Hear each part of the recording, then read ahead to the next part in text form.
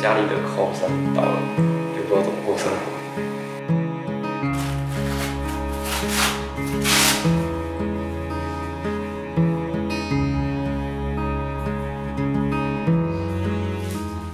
小孩子小，他的老公又要看顾我，经济上面的话会比较困难。